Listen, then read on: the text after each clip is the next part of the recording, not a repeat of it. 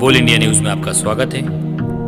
आप देख रहे हैं बोल इंडिया न्यूज़। अब सच देखेगा इंडिया। और आप देख रहे हैं बोल इंडिया न्यूज़, जैसा कि आज नगरीय निकाय चुनाव को लेकर आज मतदान दल ये पूरा रवाना हो रहा है, जैसा कि आप इस वीडियो में देख सकते हो कि कल 27 तारीख को चुनाव होने वाले हैं और मतदान दल यहाँ से पूरा जिलाधियों का जो स्ट्रांग रूम नंदलाल स्कूल बनाया गया है, इसको लेकर आज मतदान पेटी यहाँ से रवाना हो रही है और मतदान दल अपने अपने वार्ड पहुंचकर और कल शांतिपूर्ण तरीके से मतदान कराने के लिए आज यहाँ मतदान केंद्रों में कल शांतिपूर्ण तरीके से चुनाव कराने के संबंध में पूरा पुलिस प्रशासन यहाँ पर मुस्तैद है। एस एसडीएम सर भी रिटर्निंग ऑफिसर है जो अपने सुरक्षा व्यवस्था सहित पूरी व्यवस्था यहाँ पर नगरीय निकाय चुनाव में 2022 की तैयारियों में जुटा हुआ है और कल यहाँ पर जुन्नारदेव में 27 तारीख को चुनाव होंगे।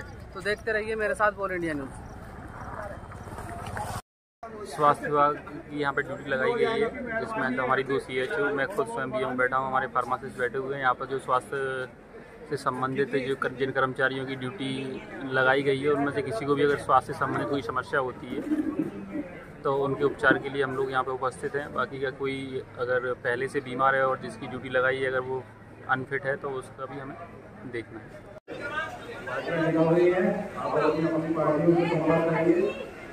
जो वाहन है। के लिए जाने के लिए वहाँ पर पहुँच गया जिन सुरक्षा कर्मियों की ड्यूटी लगी है चाहे वो बाहर हो चाहे पुलिस के जवान हो